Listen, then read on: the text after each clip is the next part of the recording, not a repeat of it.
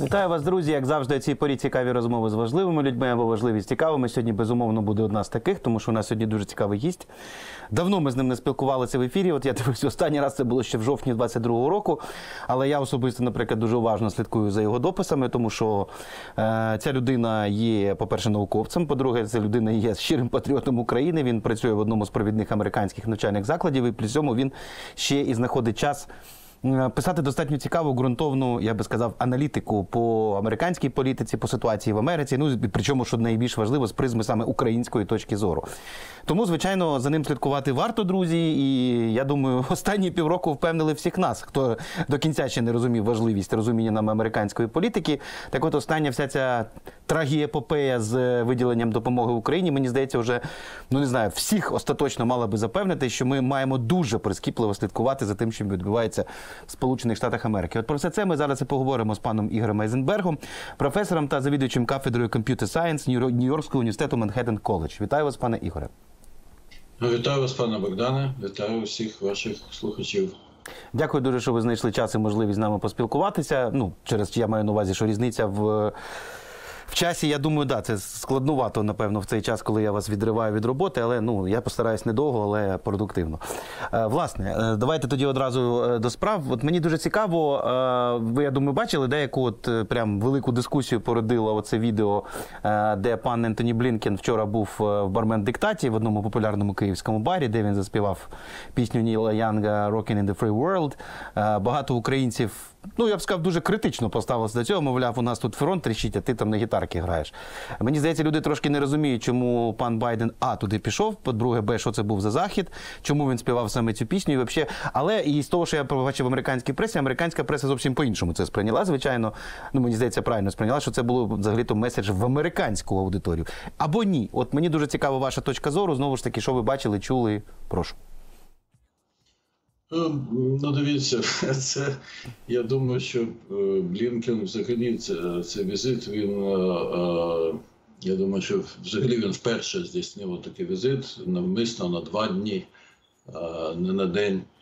І цей візит в ньому багато таких неформальних елементів, неформальних, але суттєвих. І це меседж, і передусім для українців. Ну я е, лише можу шкодувати, якщо, скажімо, українці, хтось з українців е, не сприйняв, скажімо, те, що Блінкен е, побував у барі, співав.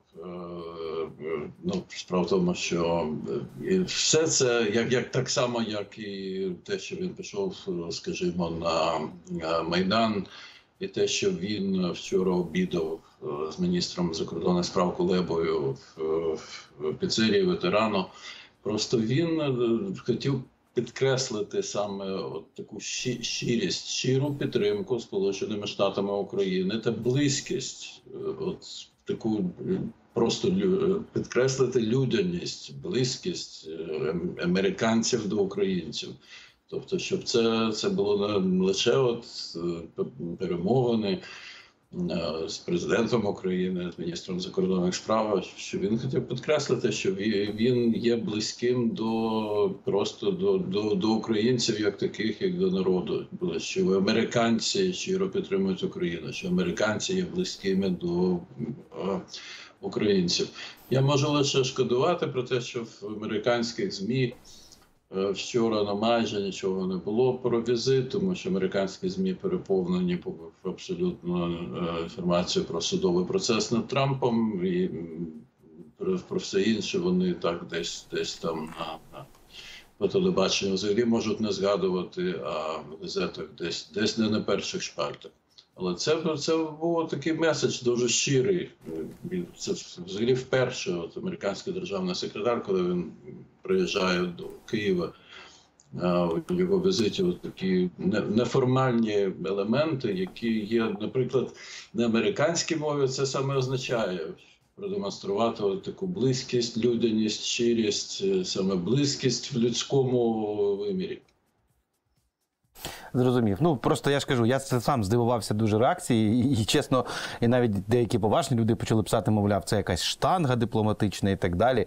Ну просто come on. А е, що е, мене знаєте, от я думаю, вам сподобається. Дуже багато до мене вчора пішло допис, дописачів, які кажуть: а чому Блінкен замість того, щоб оце на гітарки лабать, не поїхав, наприклад, до Харкова?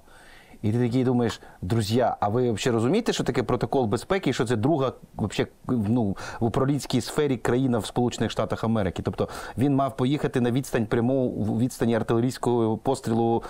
Ну, мені цікаво, це взагалі було б реально? От, до речі, цікаве питання, пане Ігоре, з вашої точки зору, щоб він реально взяв і поїхав до Харкова, там, не знаю, в Запоріжжя. Чи це ну, таке неможливо згідно протоколів американських безпеки щодо такої особи високої? Ну, Протоколи безпеки, звичайно, суворі. І якби ви не хотів от поїхати до Харкова, е, наприклад, е, я думаю, що йому не дозволила просто його охорона. Е, Просто такі протоколи безпеки вони дуже суворі. І, і ці високопосадовці вони мають підкорятися цим протоколам. Ну, наприклад, коли Джо Байден приїхав до Києва, то в принципі протоколу безпеки було е, виключення було зроблено, тому що він абсолютно на цьому наполягав. Е, Протоколи, скажімо, не передбачають, що президент Сполучених Штатів може може пересуватись потягом, лише літаком. Ну от е, Байден, коли їздив в Київ, він вже е, пересувався потягом з Польщі до Києва і потім назад до Польщі. Я думаю, що просто охорона Блінкена, от згідно згідно тих протоколів, якими вона керується, вона би не дозволила йому поїхати до Харкова. І, і він має підкорятися цьому, навіть якби він хотів туди поїхати.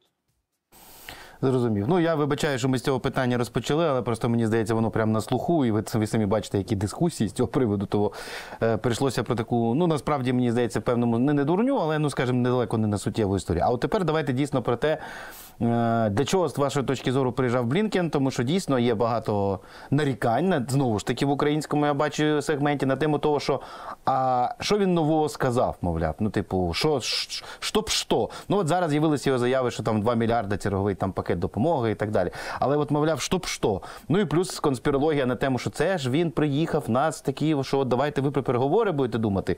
Ну і на підтвердження приводять нинішню от редакційну статтю в Нью-Йорк Таймс, яка зранку вийшла. От я думаю, ви теж її бачили про те, що мовляв так і так. Уже, значить, в Білому домі схиляються до того, що пора як би за стіл перемовин, корейський варіант, ля-ля-ля та поля. От тому, що ви думаєте про це, що ви чули, бачили, то для чого пан Блінкен саме зараз і отак приїжджав до України? Я думаю, що він приїжджав першу чергу, щоб поговорити з президентом України, з міністром закордонних справ України. Я про що вони говорили, ну ми з вами дізнаємось хіба що з мемуарів, коли е, вони їх напишуть, ті, хто ті, хто розмовляли. А ну щодо того, що в Україні приїзд будь-якого американського високопосадовця постійно хтось. Е, починає так конспірологічно пояснювати, що це нас примушує до перемовин і так далі, і таке інше. Ну я вже цьому не дивуюся, хоча я не знаю звідки таке, але е, знаю, що дуже багато. е, Дуже дуже багато в інтернеті в соціальних мережах е, гуляє різною різної такої пропаганди та дезінформації, передусім російською, яка спеціально створюється для того, щоб е, сказати українцям, що Сполучені Штати вас не будуть підтримувати, будуть вас схиляти до переговорів і так далі. І так далі. Я думаю, що е, е, про що вони могли розмовляти. Думаю, що не, не, не в останню чергу про те, як протидіяти нещодавній китайській, так, так, званій китайській, насправді фактично російській ініціативі про е, замороження на певний час е, війни. Е, Власне, для того, щоб Росія могла підготувати е, новий наступ і, і проводити більш більш широкий наступ е, на Україну. А це ця от так звана китайська, насправді російська ініціатива є небезпечною. Тим більше, що ми знаємо, що Путін відправляється в Китай, чи, чи вже відправився, чи, чи має відправитися сьогодні. І він там буде з Цзіньпіном звичайно, навіть на публіку просувати цю китайську ініціативу. І, до речі, Китай е, він же не просто говорить. Китайський представник е, е, цей Хуй, він е, здійснив візити в низку країн глобального півдня. Де він, е, в принципі, я думаю, що його намаганням було зірвати їхню участь у тому е, саміті миру, який має відбутися з української ініціативи в Швейцарії, і схилити їх на те, щоб підтримати цю китайсько-російську ініціативу. Тому я думаю, що не останньою темою розмови Блінкена в Києві було саме як протидіяти цьому. Як, як зробити той же е, саміт успішним дипломатичному плані? Маю на увазі, який саміт, має відбутися е, е, саміт миру, який має відбутися в Швейцарії. А, Вони могли обговорювати багато інших речей, стратегічних, е, поточну ситуацію, як, як пришвидшити е, е, допомогу. І потім е, це ми дізналися від Блінкена вперше, що е, вже дуже близька до готовності угода між Сполученими Штатами та Україною про гарантії безпеки. Е, Що це буде угода на 10 років.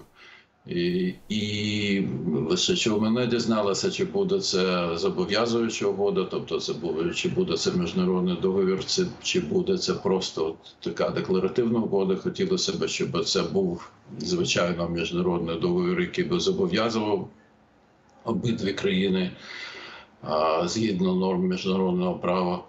Але там є така цікава річ, е, що в цій угоді буде, е, буде е, от як Блінкен висловився, виступаючи вчора перед викладачами та студентами Національного технічного університету, Київський політехнічний інститут. Що якщо Україна по Україні буде завдано удару, то е, ця угода буде передбачати е, негайну реакцію Сполучених Штатів, тобто що уряд України зможе негайно обговорювати Сполученими Штатами спільну реакцію. на це цікаво буде дуже дізнатися, що це означає, тому що я особисто вважаю, що а, єдиною гарантією безпеки для України було б членство України в НАТО або на період до набуття членства гарантії безпеки, які аналогічні е, п'ятій статті Вашингтонського договору. Ну подивимось, що там буде. Але е, якщо ніхто нічого нового не почув, я, наприклад, це почув вперше. І ще одна важлива річ Блінкен підкреслив, що Сполучені Штати е, зацікавлені в тому, щоб Україна перемогла. Він е, це сказав відкритим текстом, як є, що Сполучені Штати зацікавлені в перемозі України і будуть допомагати Україні перемогти. Хоча не уточняв, що, що означає перемога. Ну, це найгірше, пане Ігоре. Знаєте, це, чесно кажучи, ну от е, ви знаєте, от зараз скажу крамольну думку. Я точно не прихильник, м'яко кажучи, мага республіканців, враховуючи, що я себе завжди вважав прихильником республіканців, типу Маккейна і Ко. Але от єдиний раз, от чесно, покладу руку на серце, е, коли я е, погоджувався з мага республіканцями, це коли вони кричали, де конкретна стратегія от від адміністрації Байдена щодо перемоги у війні. От скажу, це єдине, в чому я згоден з цією зграйкою людей. Вибачте, що вклинився в цю розмову, але от ну правда. А де ця стратегія? Якщо, якщо ви вибачте, ви мене запитуєте, можна я, я Прошу, вам прошу, прошу. Як, як от ви розумієте, що таке перемога України? От я можу вас запитати. Ну це чудове питання. Я можу вам ну, щоб довго не забирати, бо це ваше інтерв'ю, не моє. То там є просто один момент. Це, в принципі, перемога України зберегтися як нація незалежна і отримати гарантії свого існування. А повна перемога це звичайно, коли Російська імперія в її будь-якому вигляді перестане існувати. Тому, але в принципі, навіть для нас, якщо ми зберігаємось, отримуємо гарантії безпеки, отримуємо можливості євроінтеграції інтеграції в західні блоки і е, власне якогось економічного розвитку, ну це вже буде перемога. Тому що Я з вами абсолютно, я з вами абсолютно згоден. Ну так власне же Блінкен вчора саме це і сказав, що, що це, він, він це сформулював. Тобто він, він окремо сказав, що в інтересах Сполучених Штатів перемога України. Потім він сказав, що Сполучені Штати бачать Україну як інтегровану. Інтегровано в євроатлантичні структури, як країною, яка е, е, розквітає, розвивається, яка є яка є невід'ємною частиною сучасної цивілізації. То як цього досягти, це, це інше питання. Але бачення бачення Блінкена від вашого та від мого не відрізняється, як як я бачу з того, що він говорив вчора. Угу. Ну супер, добре, дякую, що ви пояснили. Е, ще один момент, який хотілося б от у вас спитати. Вибачте, що я так багато про цей візит, але ну власне, ну це напевно зараз найбільш прямо свіже, що стосується Америки, України і наших е, відносин. Е, от дуже цікава ваша точка зору, особливо враховуючи, хто ви, що ви професор е, математичних е, математичного складу, те, що пан Блінкен виступ зробив не десь. А в Національному технічному університеті України Київський політехнічний інститут, який я теж мав честь закінчувати, і мені дуже приємно. Бо е, це ж не випадково, як вам здається, що саме там була ця промова. Не при всій повазі, не в університеті імені Шевченка нашому, не там в якомусь кімо, а саме в Національному технічному університеті. Це ж не випадковість, як вам здається? Я думаю, що це не випадковість, це теж знак, тому що і Блінкен говорив, до речі, багато в своїй промові е, вчорашній про те, що е, одним з головних завдань Сполучених Штатів буде сприяння тому, щоб Україна сама виробляла багато зброї та боєприпасів. Вироблення сучасної зброї, сучасних боєприпасів вимагає того, щоб були сучасні фахівці, які які можуть все це розробляти. Тому я думаю, що це дійсно не не, не зовсім не випадково, щоб він виступав саме саме в е, політехнічному інституті. От іще один момент е, з його виступу, який Мене дуже зацікавив. Ну, якби нічого супер нового ми в цьому нібито не почули. Але це от його пасаж про корупцію. Ну, з одного боку, нас всіх уже, напевно, воротить, коли нам це про це говорять. З іншого боку, коли ти бачиш розслідування про е, режисерів серіалу Слуга народу, який прямо перед блекаутами е, реєструє на себе фірму, яка починає отримувати на мільярди гривень раптом е, якісь тип, ну і багато чого решта, то ну як би воно да, трошки, напевно, Брінкен має право про це говорити. Де він каже, що от власне корупція він ставить на перше місце що, мовляв, ви маєте навіть змінити ці підходи до всього і так далі. От і от одна фраза, яку мені дуже хотілося б, щоб ви прокоментували, де він сказав так, що рівень вашої корупції напряму впливає на рівень військової допомоги. І мені ж не почулося, що він щось подібне сказав, от в такому саме, в такій от е, інтерпретації. Чи це я, моя вільна інтерпретація його слів? Ні, це це він він саме це і сказав. І він, до речі, ж він приділив доволі велику увагу цьому. Там там велика частина його промови стосується саме цього. Тому що ну е, дивіться, корупція є всюди. У Сполучених Штатах, наприклад, от наразі е, триває суд над колишнім президентом, де його звинувачують в шахрайстві. Е, розпочався вчора суд над діючим сенатором. Е, демократом, якого звинувачують у хабарництві. Ще звинувачення висунути ще одному конгресмену демократу, теж його звинувачують у хабарництві. Тобто корупція всюди є. Проблема в тому є, що там, де от, корупціонерів е, притягають до відповідальності, там е, її менше. А там, де корупціонери почуваються вільно, там її просто стає більше, і і це дуже погано, тому що корупція просто вона з'їдає суспільство, вона з'їдає державу, в якій в якій вона має місце і, і в якій з нею не борються. Ну я думаю, що тут Блінкен не просто казав про абстрактну корупцію. А він е, фактично, як на мене, він закликав українську владу до певного переформатування, тому що він він е, казав про корупцію в зв'язку з тим саме, що він пояснив, що Сполученим Штатам зрозуміло, що в Україні наразі неможливо провести вибори. Що вибори повинні відбутися тоді, коли буде можливо їх проводити, щоб усі українські виборці, в тому числі ті, що знаходяться наразі за кордоном, могли взяти участь у виборах. Але він це е, зв'язав, і як на мене, це такий був меседж українській владі, що вона має певне переформатування зробити. Тобто, що що вона не має бути от владою, монопольною владою одні, однієї партії. Що треба треба залучити, залучити фахових людей до влади, щоб, щоб був контроль, щоб люди контролювали один одного, особливо в умовах, коли не можна провести вибори. Тобто, це, це можна трактувати ще й так. А, І, і звичайно, що допомога, допомога залежить від, від рівня корупції. І я не кажу про те, що, скажімо, коли Сполучені Штати постачають зброю Україні, що ця зброя може опинитись десь не, не в ЗСУ, а, десь десь на стороні. Але е, справа ще в тому, що Сполучені Штати, крім постачання зброї, дають Україні доволі багато грошей, так само як і Євросоюз, просто допомагаючи українському бюджету. І можливо могли б давати більше, якби були впев- абсолютно впевнені, що, що цими грошима не буде робити чогось, чогось, чого, чого би не хотілося Сполученим Штатам, щоб робилося. Тобто, ну якщо, якщо так, щоб гроші, щоб ні, ніяка частина цих грошей не могла розкрадатися або використовуватися не на те, що треба.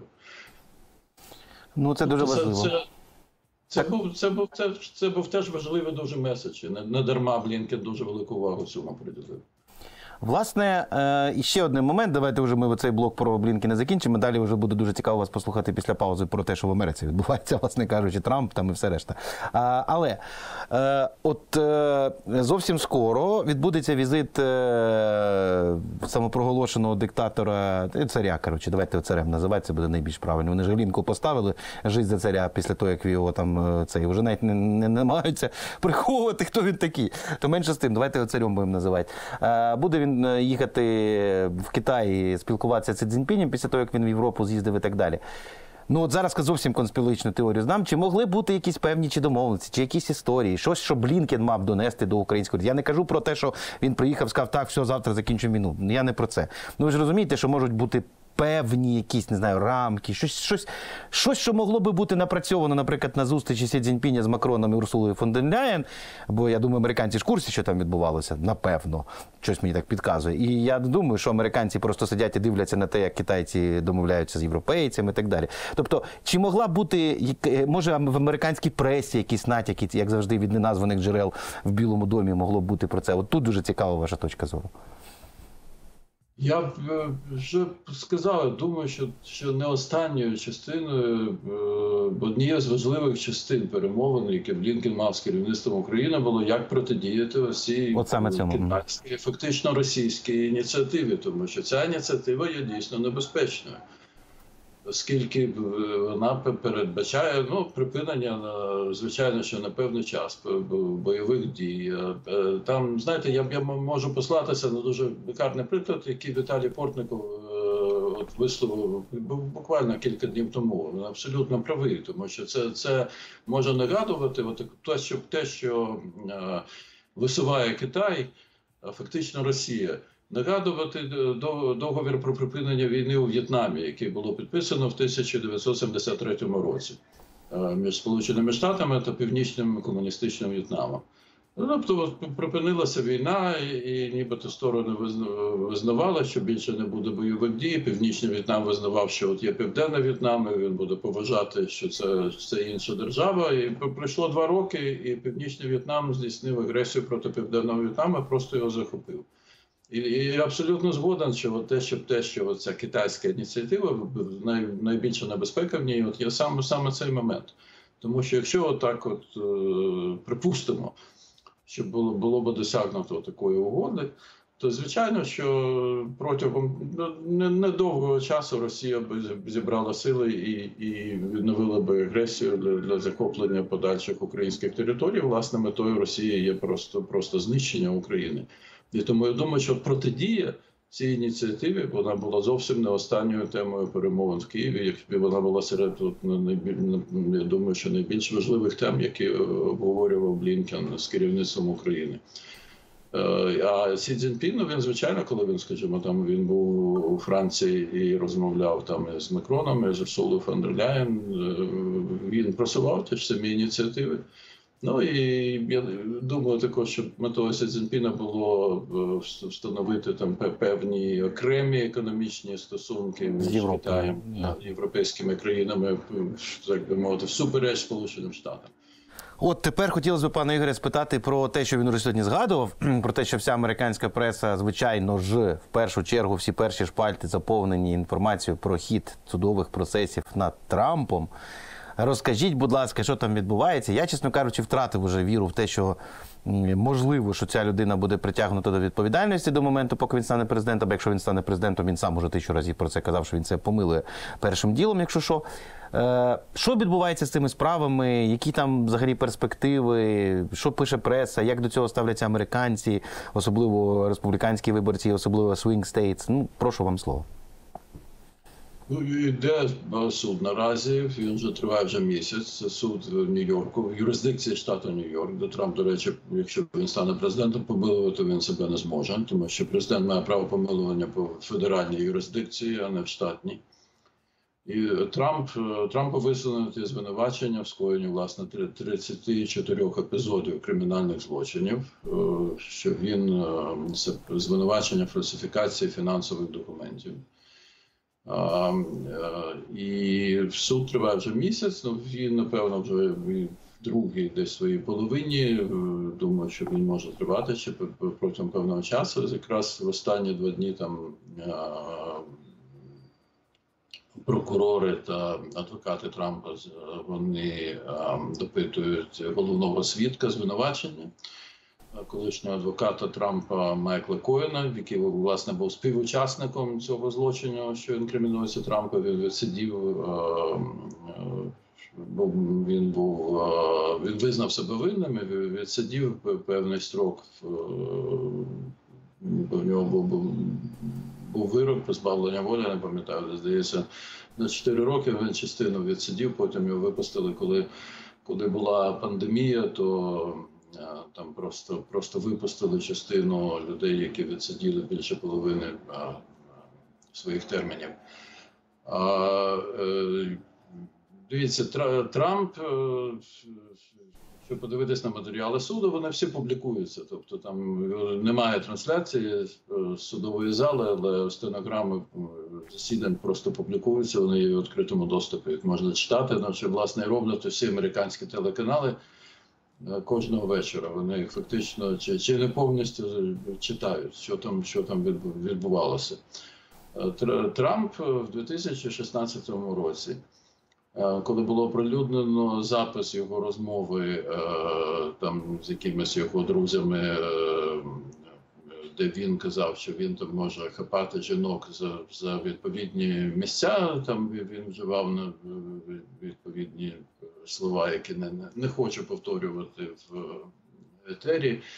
А, і тому що він, він є от, він є знаменитим, і тому, тому у нього є абсолютний доступ до будь-якої жінки. Коли це було оприлюднено, Трамп дуже злякався того, що е, якщо ще й дізнаються про те, що він мав, е, мав стосунки от, з зіркою, акторкою фільмів для дорослих і зіркою журналу Playboy, то це йому буде коштувати е, власне виборів, тому що за нього не будуть голосувати жінки.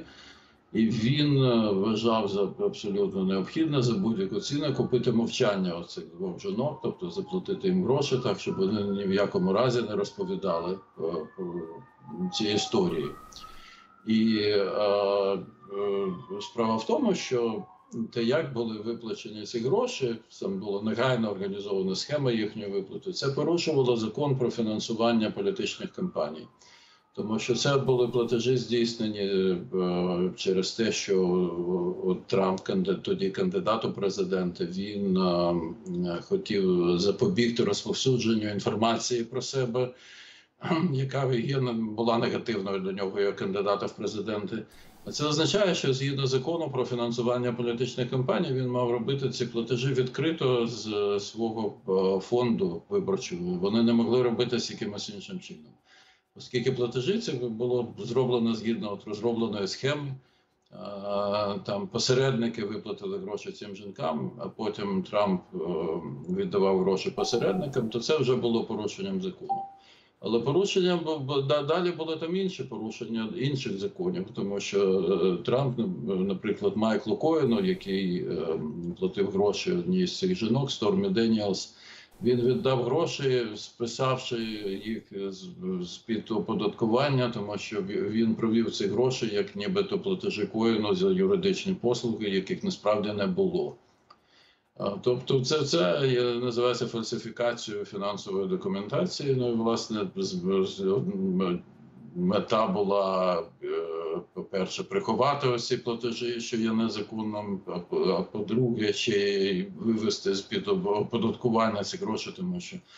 Якщо е, це гро- гроші, які виплачені адвокатам за реальні юридичні послуги, то можна їх списати з е, бази, яка оподатковується. Ну і е, було сфальсифіковано 34 фінансові документи різні. Це в цьому звинувачується Трамп. Я думаю, що є дуже велика ймовірність, що е, е, журі присяжних може визнати його винним. Думаю, що там багато свідків, які всю цю картину намалювали, як це все робилося, як, як ця схема була створена, як вона була задіяна. Ну але для того, щоб людину визнали ви- винною в суді присяжних, треба, щоб усі 12 присяжних одноголосно е, визнали людину винною. Тому що якщо хоч, хоч один присяжний проти цього, людина вин- винною визнана не буде. Це не означає виправдання, але не буде звинувачуваного вироку. Тобто прокуратура може домагатися тоді ще одного суду, може взагалі просто закрити справу. От е, скільки буде ще тривати суд, не знаю. Ну але думаю, що менше ніж він вже триває, як я вже сказав. А щодо інших справ, у Трампа є ще три кримінальні справи, судовий розгляд, яких відкладено на невизначений термін. Через те, що інші три кримінальні справи стосуються часу, коли він перебував на посаді президента. І Трамп е, це, це справа про 6 січня, про спробу державного перевороту 6 січня 2021 року. Е, Це е, справа про викрадення Трампом з Білого Дому секретних документів та незаконне їхнє зберігання е, у нього вдома, також е, перешкоджання розслідуванню е, цього злочину. І це справа про спробу з е, фальсифікації.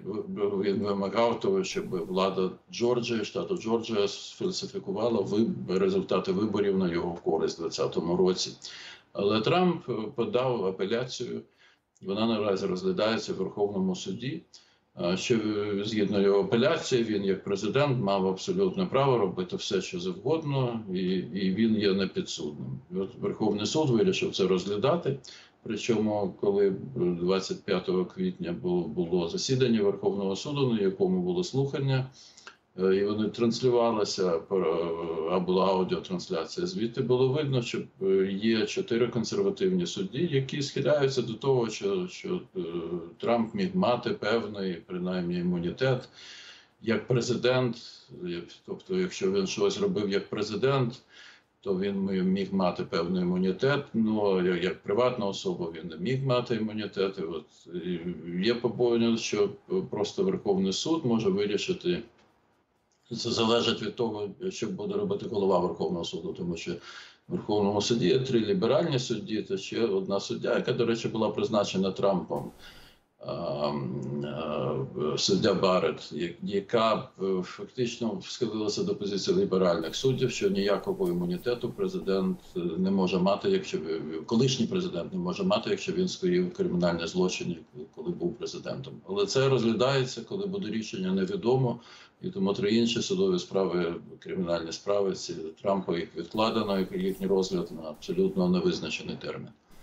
Якщо він буде визнаний винним у Нью-Йорку в цьому суді, він звичайно подасть апеляцію, тобто вирок не він е, не набуде законної чинності, поки не буде розглянута апеляція. Апеляції розглядаються в Сполучених Штатах довго. Ну і в даному випадку буде розглядати ще довше. Тобто до, до виборів точно жодного вироку, який набуде законної чинності, не буде. Але він може бути визнаний винним. Це, цілком можливо. Як зміниться ставлення виборців до нього, ну ми наразі не знаємо. Але от що ми знаємо, коли були праймеріс е, в штатах е, Нью-Хемпшир та Південна Кароліна, де праймеріс відкриті, в них можуть брати участь не лише зареєстровані члени відповідних партій, а будь-які виборці можуть прийти сказати, хочу проголосувати, скажімо, там на республіканських праймеріс чи демократичних праймеріс. Там проводилися екзит-поли, тому що багато людей брало участь у праймеріс. І от там з'ясувалося, там задав- е, ставили питання е, виборцям після того, як вони голосували, чи вони підтримують е, Трампа, якщо він буде визнаний винним у скоєнні кримінальних злочинів. З'ясувалося, що є доволі суттєва частина незалежних виборців. І невелика частина республіканських виборців, які вважають, що для них буде неприйнятним голосувати за Трампа, якщо він буде визна- визнаний кримінальним злочинцем. Тобто подив, подивимось, будуть, будуть опитування після, після того, як завершиться цей суд, в залежності від того, чим він чим його буде завершено. Будуть звичайно опитування, і, і будемо дивитися, як, як це реально вплине на думку американських виборців. Ну да, це, до речі, досить цікаво. Звісно, тому що е, от. Е, Прям е, коли ти дивишся на, на ці вибори, я, чесно кажучи, от не знаю. У мене таке враження, може я помиляюсь із того, що я бачу, що дуже багато, особливо молодих виборців, вони просто. Ну, я не знаю, чи вони там будуть. Ну, їм не подобається навіть не, не стільки там Байден, Трамп, республіканці, демократи. Їм просто не подобається той факт, що це настільки вже, ну скажімо, люди похилого віку. Тобто, мовляв, ну можна як-то щось от, як-то помоложе. От немає відчуття, відчуття такого в американському суспільстві, що їх просто ну мені здається, в принципі, самі американська преса про це пише. що Є величезна проблема, що колись років 20-25 тому на, на величезному бумі фінансового ринку і так далі, всі най, найталановитіші, найкращі йшли, грубо кажучи, там в бізнес-сектор. Політику мало хто йшов, і так тепер вийшло, що виходить е, країною правлять люди, яким там в середньому 70-75, а може навіть більше років. А наступним політикам там по 35-40, величезний розрив. Ну і от тому от ми маємо не ми, точніше, Сполучені Штати Америки, мають таку от ситуацію. Така історія є в Америці, скажіть, будь ласка, вона прослідковується за вашим от власним враженням людини, яка там живе. Ну, вона є, але вона не є, знаєте, вона не є такою важливою, я би сказав. Щоб і це обговорює, звичайно, вік обох кандидатів в президенти, що там Байдену буде буде в листопаді 82, а Трампу буде буде через місяць 78. Е, Це обговорюється, але це не є це не є найбільш важливою темою. Тобто, так, десь десь десь іноді іноді хтось це зачіпає. Ну справа в тому, що Якщо подивитись на них на обох, то ну я не знаю, я би не, сказав. Знаєте, коли років 20 навіть тому, що от що людині, скажімо, там 82 або 78. Трамп він дуже енергійний, такий дуже емоційний. Як і Байден такий флегматичний і, і, і можна сказати, так фіз, повільний, там він повільно ходить. Він здійснює свої президентські обов'язки, як як будь-який президент. Тобто він чи не кожного дня він їздить кудись по країні, десь виступає, щось робить, зустрічається там з іноземними лідерами. Тобто, ну ніяк не ніяк не скажеш, що що йому важко це робити. Тобто, це це я кажу, це не є головною темою передвиборчої кампанії. Хоча ну я згоден, що є, є певний розрив у поколіннях, тому що є є такі політики поважного віку, як Байден, як як Маконал, скажімо, лідер республіканців в Сенаті. Як як той же Трамп, є є молоді політики, їх є чимало політиків, таких як сильних політиків віку, скажімо, там від 45 до 55, їх їх дійсно в сучасних сполучених штатах мало. Я би так сказав, що побачити серед них когось, хто міг би кинути виклик, от цим мастодонтам політики дійсно важко. Зрозумів. Добре, тоді такий ще момент. От дуже цікаво ваші, скажімо, оцінки. В принципі, в настроях американців, ну скажімо так, бо я так бачу, що це дійсно велика проблема. Ну, от, ну те, що я звідси бачу. Тобто, грубо кажучи, в чому вона полягає? Скажімо так, величезна, яка пов'язана навіть не стільки з конкретними прізвищами, а в принципі з такими екзистенційними історіями в Америці. Що американське суспільство зараз дуже сильно взагалі думає над тим, як жити далі, в тому сенсі, що з одного боку дуже багато американців, особливо я так розумію, більш молодих, не хочуть, щоб Америка займалася ролью світового жандарму. Але при цьому не всі розуміють, що якщо Америка перестає бути ну не те, що жандармом, але перестає бути хоча б гарантом нинішньої системи безпеки і так далі, то тоді, в принципі, Америка втрачає можливість бути по суті, ну давайте скажемо відверто на чолі цієї харчового ланцюжку, який зараз побудований в світі. І це буде набагато більш небезпечний світ, в якому Америці буде набагато важче заробляти гроші, бути лідером і так далі, тому подібне.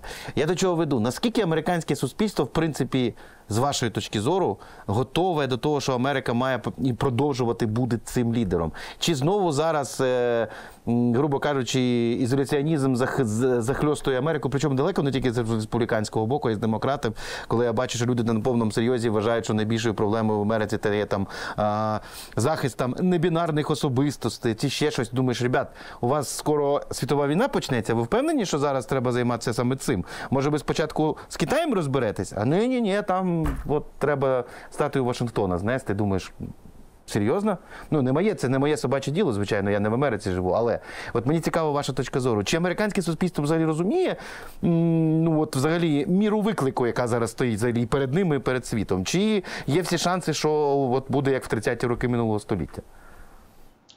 Ви знаєте, американці традиційно дуже мало цікавляться тим, що робиться в світі. Е, За виключенням таких ситуацій, як, скажімо, повномасштабна російська агресія проти України, коли, звичайно, це викликало величезний інтерес до України, емпатію з боку більшості американців. Ну тому що це є щось абсолютно таке екстраординарне.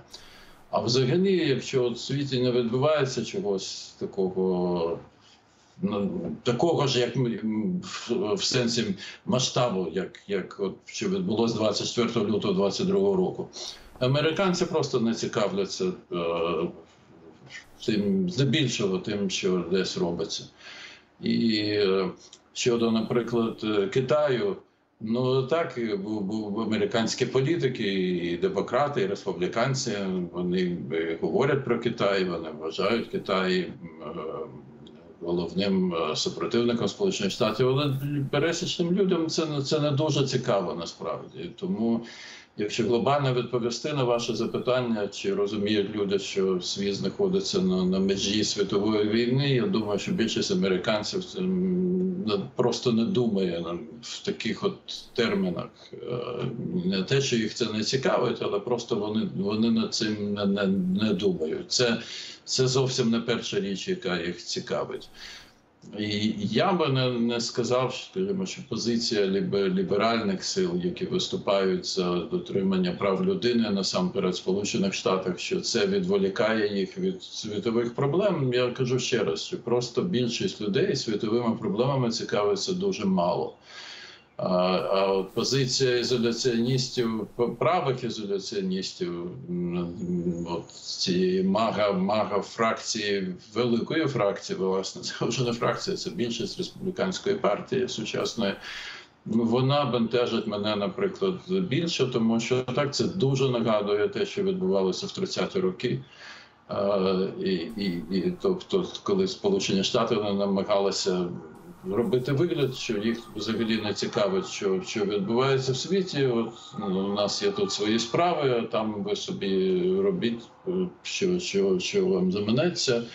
Для нас це не має значення, тому що позиція маги республіканців, от я саме саме такою. І е, це, це мене, наприклад, бентежить, тому що Є, Це, це абсолютно ізоляціоністська позиція. Тобто це, це позиція саме, е, щоб Сполучені Штати не грали таку роль у світі, що їм це не потрібно, потрібно зосередитись на тому, що робиться тут всередині країни. Я вважаю це небезпечним, тому що абсолютно з вами згоден. Світ е, сучасний, такий, такий як він є. Він здебільшого він тримається на е, саме на той тій ролі, яку Сполучені Штати в ньому грають після Другої світової війни. І до, до речі, от я днями перекладав. Е, Розмову мого хорошого друга Юри Рашкіна з е, генералом Беном Ходжесом, і е, колишнім командувачем американських військ в Європі, і з е, одночасно вони втрьох розмовляли з колишнім директором Російської служби голосу Америки Марком е, Помаром. І вони розмовляли якраз про протидію російській дезінформації і пропаганді, як, як виграти інформаційну війну, що повинен робити Захід з цього приводу. І от якраз вони саме саме ці речі обговорювали е, небезпеку того, що Сполучені Штати не будуть грати ту роль у світі. Якраз генерал Бен Ходжес він сказав, що ми не звертаємо уваги просто на те, щоб світ би взагалі не був таким, яким він є. В ньому просто неможливо була торгівля між країнами. Якби американських військ не було там, там, там, там, там, де, де вони є. Там можлива світова торгівля. Якби не було американських кораблів в океані, то просто вже пірати би за- за- захоплювали більшу частину того, що е, через світовий океан е, товари, які, які через світовий океан між, між кра- країнами забезпечують торгівлю. І цього дійсно Сполучені Штати більшість людей просто цього над цим не, думає, не те, що не розуміє. Е, Можливо, людям це пояснювали частіше, вони би це розуміли. Але просто про це про це люди не думають. Це це дійсно бентежить, особливо враховуючи те, що робиться саме в сучасному світі сьогодні. Да, е, дякую вам дуже за вашу докладну відповідь. Просто да, це ми так уже, звісно, в імпірей залізли. Але ну я вам скажу відверто, чому я задаю це питання, тому що ну я тепер завжди буду виходити. Напевно, я для мене, наприклад, е, я от не знаю, чи вам сподобався фільм Голда, який нещодавно був. Мені він дуже сподобався, прям купою моментів. Але особливо, звичайно, мені сподобався. От не пам'ятаю, хто в історії з ізраїльських керівників казав цю фразу, але вона геніальна з приводу того, що е, е, коли наші американські друзі нам пропонують гроші поради, ми беремо гроші, а поради залишаємо їм. Ну от, власне кажучи, іноді мені здається, що саме так треба робити і з американцями в хорошому сенсі цього слова. Тому що ну я не знаю, чого очікувати від зміни, наприклад, президентства в Америці. Ну от стає президентом Трамп, і що це означає для України. Я не кажу, що там все, давайте зда- здаватися і так далі. Або, наприклад, Байден стає президентом і вирішує, що ну нарешті давайте ми займемося тими проблемами, які я в 2020 році людям обіцяв вирішити, бо що нам та Україна. Ну я звичайно не думаю, що так буде. Але ви ж розумієте, що ці питання зараз перед будь-яким українцем стоять після цієї сімимісячної історії, яка нам ніхто нічого не винен. Я зразу згоден з вами, що ви це скажете. Але ну ви самі розумієте. І от тому це питання, а що ж власне хочуть американці, воно стає прям ну дуже гострим. От дуже гострим насправді, і наскільки взагалі Україна є в їх е, world view, я б сказав так. Дивіться ще раз. Україна, звичайно, не є на першому місці у американців. Е, Не є, як і будь-яка інша країна, не є для американців на першому місці. Тому що американці цікавляться, більшість американців переважно більше цікавляться своїм власним життям. Це, це я би не назвав це ізоляціонізмом, тому що ну будь-які люди цікавляться власним життям. Ну дивіться, коли щось десь відбувається в світі, хіба українці дуже цікавляться тим, що відбувається в, усьому світі в інших країнах. Скажімо, чи, чи, чи цікавились ми з вами? ну, От е, такий наведу приклад, чи цікавились ми з вами, е, коли була Ірано-Іракська війна? Ні? Вона тривала 8 років. Ні, не цікавилась. Ну так само, от американці, американці вони значно менше цікавляться тим, що робиться в світі, ніж ніж своїм власним життям. А, і звичайно, що коли відбуваються такі речі, як як, як взагалі, от це повномасштабне вторгнення Росії в Україну, такі речі, як відбувалися в Бучі, де коли це показують по телебаченню, звичайно, це викликає переважно більшості американців дуже велику емпатію до України і інтерес до України. Але ну скажімо, е, зараз, ну дивіться, якщо я вийду в Нью-Йорку з українським прапором на вулицю, або навіть з жовто-блакитною стрічкою, то мене будуть вітати дуже багато перехожих. Чи там не кожен другий, третій буде мене вітати і просто показувати якісь знаки солідарності. Може, хтось захоче мене обійняти. Але так, якщо я, я просто буду йти по вулиці, ну люди, я, навряд чи ці люди, які йдуть мені на зустріч, вони думають в, цей момент про Україну чи про будь-яку іншу країну в світі. Вони думають про своє власне життя. Просто це, це дуже важко от, поєднати з тою роллю реальною, яку мають Сполучені Штати в світі. Якщо вони цю роль не будуть грати, дійсно абсолютно з вами згоден, буде дуже погано. Як і згоден, згоден з генералом Ходжесом.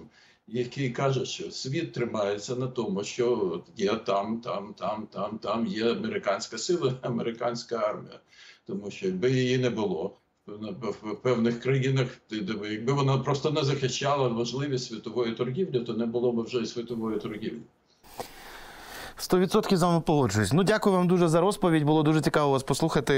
Будемо сподіватися, звичайно. Хотілося б, щоб те, як воно уявлялось там 20 років тому, так і сталося. Я все-таки щиро вірю в те, що американський народ вже багато разів проходив через такі кризи. Мені здається, подібна у них була, напевно, останній раз в році так в 68-70-му, десь отак я б, напевно, порівняв періоди, такі буремні, які зараз відбуваються з їх країною.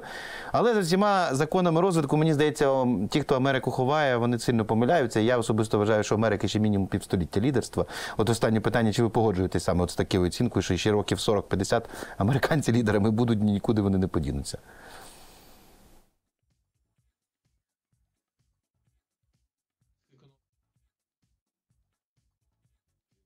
прогнози щодо того, Вони не, не, значить, вони не- є реальними. Зараз навіть економісти, які це прогнозували, вони згодні з цим, що це не відбудеться протягом ще багатьох років. І тому роль Сполучених Штатів у світі вона дійсно дуже велика. І дуже хочеться сподіватися, що вона такою буде залишатися. Тому що тому що дійсно світ, світ просто він, він, якщо Америка ізолюється сама в собі, для світу це буде дуже погано, тому що тому що це власне це буде перемогою таких диктаторів, автократів, як Путін, як Сі Цзіньпін, які які будуть просто е, робити те, що вони хочуть робити, і, ніхто не буде зможе їм е, протидіяти. Роль, роль Сполучених Штатів у цій протидії вона дійсно є, є е, дуже великою. Замінити Сполучені Штати в цій якості ніхто не зможе. Дякую вам щиро за розмову. Дякую дуже за ваші цікаві коментарі. Це був пан е, Ігор Айзенберг. Раджу вам, до речі, слідкувати за його розвідками американськими новинами, які він постійно, ну як постійно, раз на тиждень точно стабільно видає. Дякую вам дуже за розмову. Нагадаю, що пан Ігор це професор і завкафедрою Computer Science Нью-Йоркського університету Манхеттен Коледж. Дякую, що дивились. Побачимось, почуємось.